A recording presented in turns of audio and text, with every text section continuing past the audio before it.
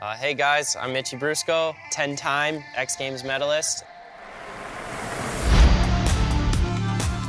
Usually at each X Games, there's a moment that sticks out.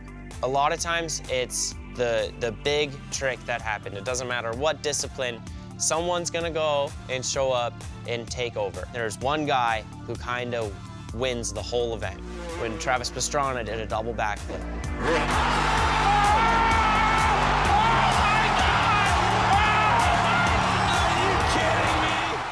Tony Hawk does a 900.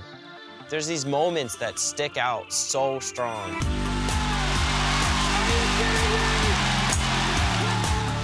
But if there's one place to leave a mark that resonates beyond skateboarding, it's in Big Air. Because you don't have to have any experience to know how hard it is and to know how dangerous and how scary it is. One thing happens and we will never forget. It doesn't matter if it's 10 years ago, 20 years ago, whatever. These tricks and these comps stand the test of time. The moments that stick out to me in Big Air over the years has to be the couple times I've seen Italo Penarrubia and Nolan Monroe and Clay Kreiner. Everyone goes about 18 feet at the comp, 20 maybe. But when they break that barrier, and don't just barely go an inch higher than everyone else, it's like they're like four feet, five feet above the rest. You can just feel it. 22, 22 inches! Feet. Biggest McTwist ever. And then Bob's insane consistency over the years.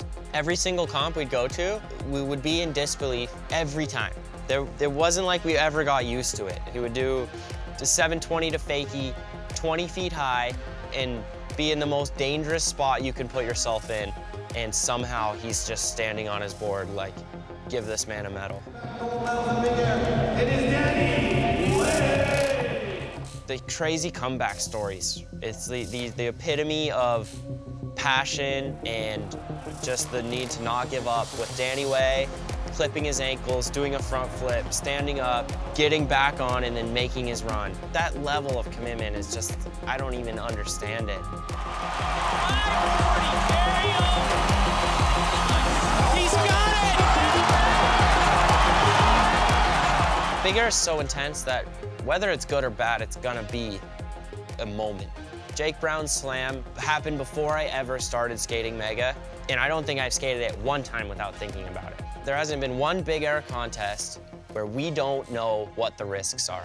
Jake's sticks out like a sore thumb. Oh, oh, oh my god. That was the heaviest slam we've ever seen. I mean, I, I quit every year. I'm like, uh, I don't think I should do this anymore. And then something happens. I'm like, oh, I, it just keeps bringing me back. Mitchie Brusco, right now, he's trying to get this thing lined up. He's in ninth place. What motivates me, what gives me goosebumps, what I have dreams about are these crazy moments, are these tricks that I want to do, these dream tricks. Spinning really good. This might be it. Oh my gosh, Mitchie Brusco with a 1080. Great oh, Owens Raven! He did a 1080. He cannot believe it. The progression in big air is slow, but the time you spend on the ramp, in the air, floating around, getting used to the little feelings, you have to skate it for five years, 10 years before you start to really get in tune with it. So when I first started, I went super hard, 900s right away, went straight into a 1080, boom, did it. And then I and then I took a step back. I'm like, this is dangerous. I'm not ready for any more steps, and I need to kind of get level where where I'm at in this sport. Since I've had that time, I knew what direction I wanted to take it. I knew it was time to do a 1260. I was going to Shanghai, and I was skating practice. In that moment, I knew that I could do it. Something hit me. It hit me like a ton of bricks, and I was just looking at the quarter pipe like almost bummed out because I know myself and I could not let it go. Like I knew once that moment happened, I was like, this is your life until you do a 1260 now.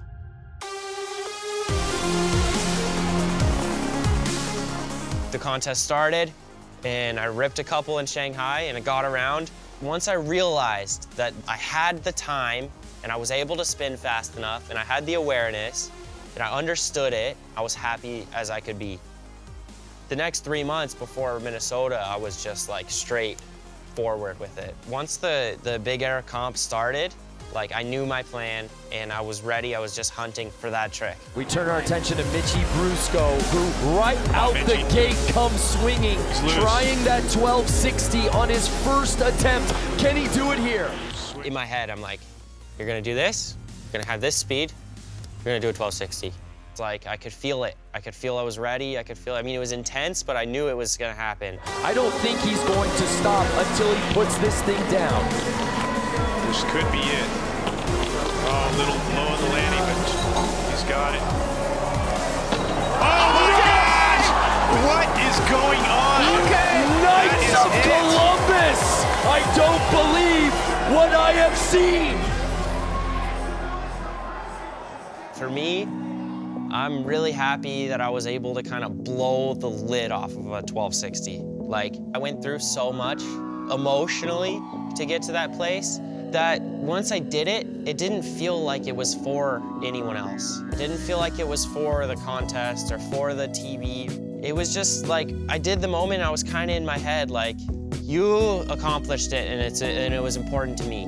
It showed the contest, it showed the people, like, this is possible. You can go up there, and you can spin a bunch, and you can come down and you can land. That moment, I realized, like, what we can really do.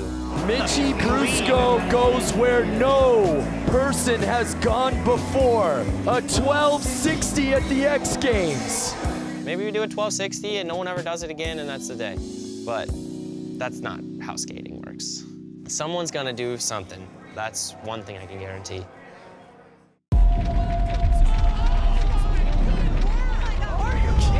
These are the moments that make X Games the X Games.